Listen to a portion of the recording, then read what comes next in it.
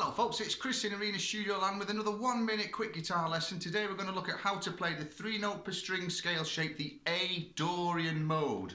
We start on the fifth fret, we go five, seven, eight. Next string on the A string it's five, seven, nine. Next string five, seven, nine.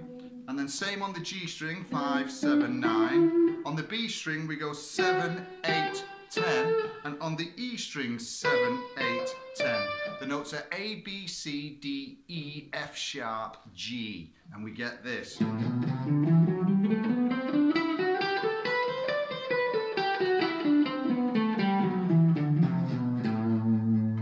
that's how we play the three note per string A Dorian mode.